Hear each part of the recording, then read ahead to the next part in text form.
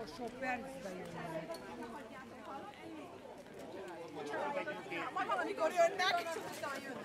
Majd valamikor. Verkényet ablatok, majd visszafordulni. Ja, lehet.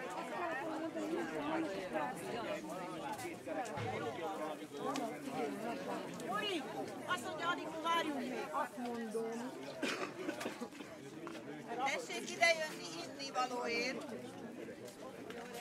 Üzemanyag. Ennyi üzemanyagot még. Pálinka, teja. Igaz, hogy maga Mondanék egy pár szót. Egyrészt, hogy gyorsan felolvasom, hogy kik, akik jelentkeztek, hogy lássuk, hogy itt van-e mindenki, jó? Csak annyi, hogy mondja rá, hogy igen. Kidling Marika néni a párjával, Kliber Erzsi néni, Dágányi Ildi néni, Beatóni bácsi feleségével, German Csabi testvérével, Pafnisi, Schmidt Zoli, hát az itt lakik a szomszédban, még azért nem ért. Debre Majújék sokan, Szia! jó? Meglepődtem, tegnap véget hívtam. Janci, jó? Szegler Józsi a fiával, jó? Hersz Mariska négy fővel, Kap Magdiléni a férjével, Simák Mártoné és családja, Nerfel Jutta, oké, sziasztok, Gombaiék,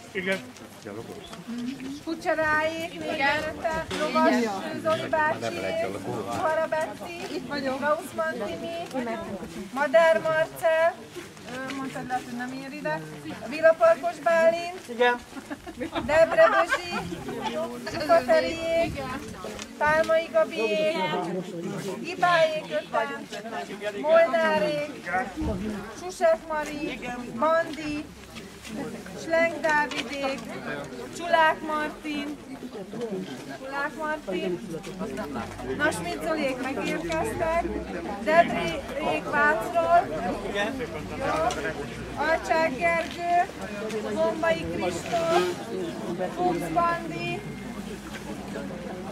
Lovas Nikiék társasága. Jó, hát akkor meg vagyunk. Nagyjából. Jó, aki, aki két fő hiányzik, aki meg.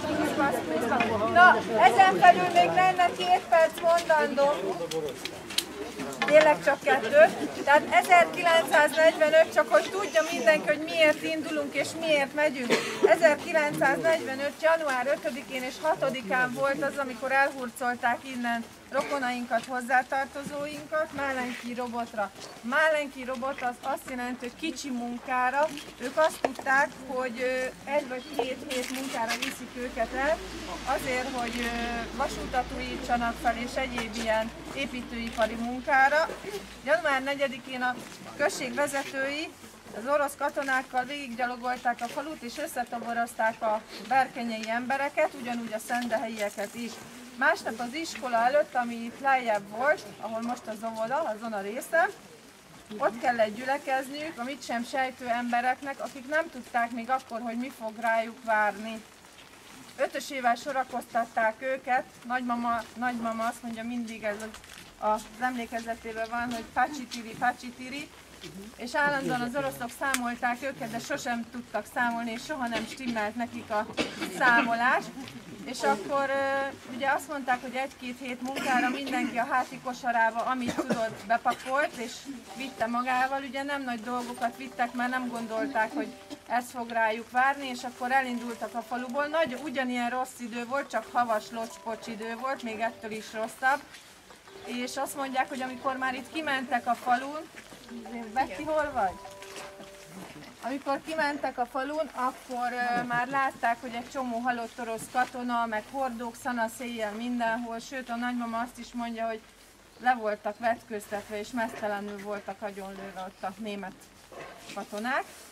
És akkor elindultak és egy hétig gyalogoltak egészen Gyöngyös és Kálkápolnáig, ahol marhavagonokba tették őket be. Első éjszakájuk az nőtincsen volt. Jó, azért nem mondok most többet nektek, mert amikor vissza fogunk ide érni, egy csomóan fogunk megemlékezni, és nem akarom, hogy mindenki ugyanazt elmondja nektek. A többi részét majd ott el fogjuk közben mondani.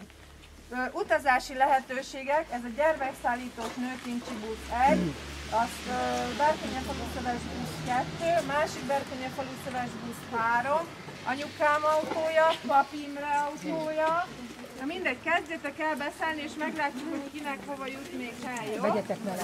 Aki még kér inni Ja, és bocsánat, igen, az útra még itt fel tudtok tankolni, mert ennek ilyen szedős teteje van, nem kérülhetek.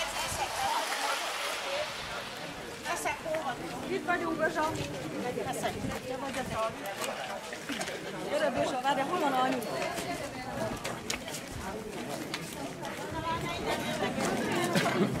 Esernyőket,